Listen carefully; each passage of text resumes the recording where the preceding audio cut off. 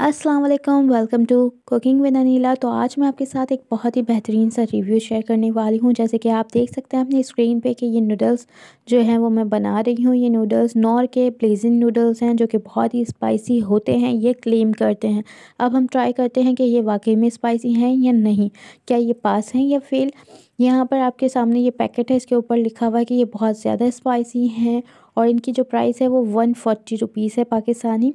तो हम इसको ट्राई आउट करेंगे और देखेंगे इनका क्लेम राइट है या रॉन्ग और यहाँ पर जो इसकी क्वांटिटी है वो इतनी है कि इसके अंदर दो लोग जो है आराम से इस नूडल्स को खा सकते हैं। इसके अंदर हम देखते हैं कि हमें और कुछ दिया हुआ है या नहीं। टेस्ट मेकर तो है मतलब कोई ऑयल या जैसे कि इंडोमीज नूडल्स वगैरह में होता है चिली ऑयल वगैरह दिया हुआ होता है, वैसा कुछ है या नहीं।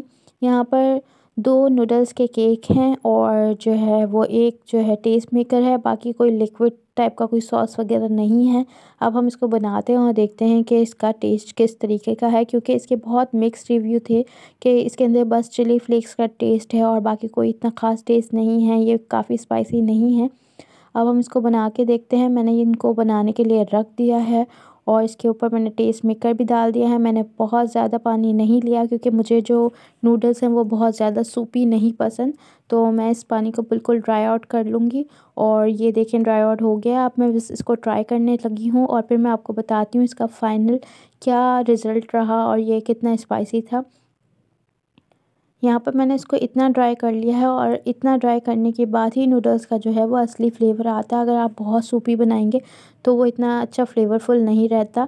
अब मैं ट्राई करके आपको बताती हूँ, ये बहुत ही ज़्यादा स्पाइसी से थे। मेरे हिसाब से ये बहुत ज़्यादा स्पाइसी हैं। इसमें बहुत ज़्यादा चिली फ्लेक्स भी डले हुए हैं और टेस्ट बहुत अच्छा है। इसको मैं बुरा नहीं कहूँगी। मुझे तो काफ़ी अच्छा लगा और कोरियन नूडल्स जो कि बहुत एक्सपेंसिव होते हैं तो उनके मुकाबले में अगर आप कुछ स्पाइसी नूडल्स टाइप ट्राई करना चाहते हैं तो आप बिल्कुल इस नूडल्स को ट्राई कर सकते हैं। मैंने यहाँ थोड़ा कोरियन फील देने के लिए यहाँ पर एक बॉयल एग भी इसके साथ रख लिया था, ताकि ये बिल्कुल कोरियन फ़ूड का जो है लुक दे। और मुझे ज़बरदस्त लगे हैं, आप अपना रिव्यू बताइए कि आपको ये नूडल्स कितने स्पाइसी लगे या सो सो लगे या आपकी तरफ़ से ये पास हैं। और फिर हमने अपने घर में जो और बच्चे वगैरह थे, उनको भी ये नूडल्स ट्राई करवाया और उनका भी यही मानना था, उनको भी बहुत ही अच्छे लगे और आजकल सबको स्पाइसी पसंद है, पर बाद में उनकी हालत बहुत ख़राब हुई, इसलिए आप भी इसको ध्यान से ट्राई